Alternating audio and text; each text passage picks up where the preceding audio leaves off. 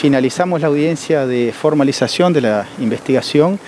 Eh, eh, la Fiscalía, el equipo de la Fiscalía solicitó em, la formalización de la investigación y la imputación de un hombre que, que se encontraba detenido eh, por la imputación como presunto autor por la presunta comisión de un delito de homicidio muy especialmente agravado por el femicidio y, así, asimismo se solicitó por parte de la Fiscalía eh, la prisión preventiva del, imputado por el plazo provisorio y sin perjuicio de 180 días a efectos de avanzar con la investigación, completar la investigación y eh, oportunamente presentar la acusación correspondiente.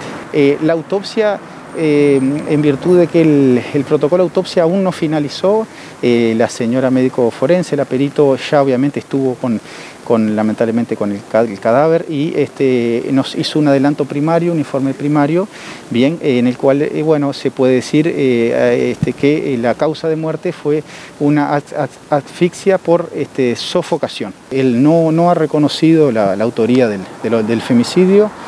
Este, él, según las versiones de él, es, sería la primera vez que, con la cual se, digamos, contactó con con la, con la víctima. La primera vez que, se, conoció, se conoció ese mismo día según la versión de él.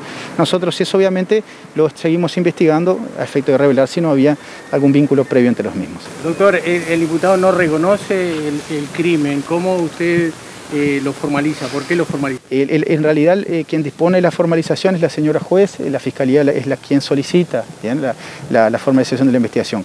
La solicitud de fiscalía fue recogida íntegramente por la señora juez.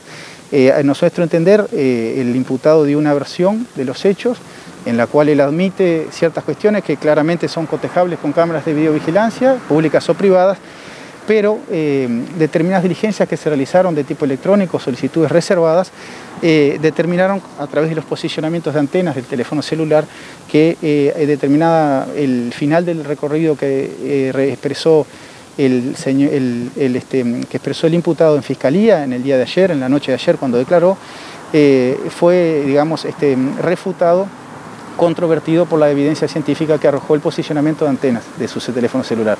En definitiva, él expresó estar en determinado lugar, de hacer determinado recorrido y de acuerdo a, la, información que eh, surge de, las operadoras telefónicas, su celular estuvo conectado a antenas que están en otro lugar, en el lugar en donde fue encontrado el cadáver.